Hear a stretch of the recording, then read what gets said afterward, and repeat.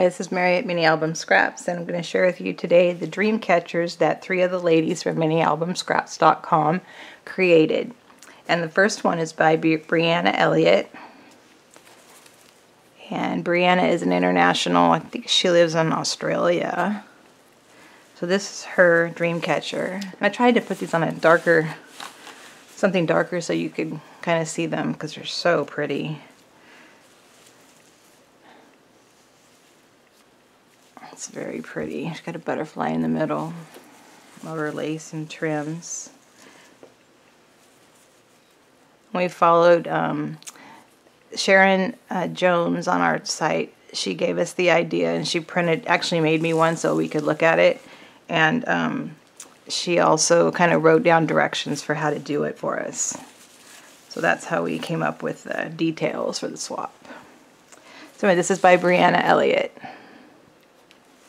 Thank you, Brianna. It's absolutely gorgeous. It's very, very pretty.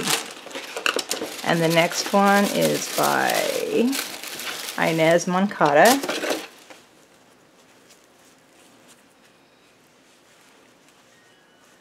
This is Inez's. Very pretty. Oh, I love her satin flowers.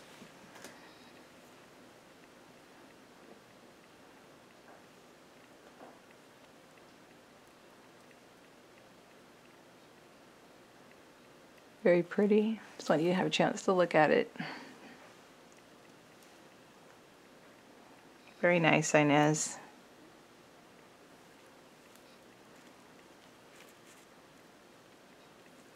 Beautiful. Oh, this kind of came off. I think it was supposed to go up like that. So that's Inez Moncada's.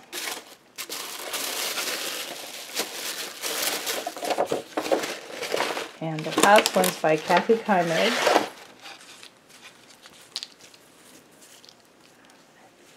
I love this. Vintagey. She got a bow at the top, some a tie. She used a couple doilies. Look at all of her flowers. And here's her trims. Very nice.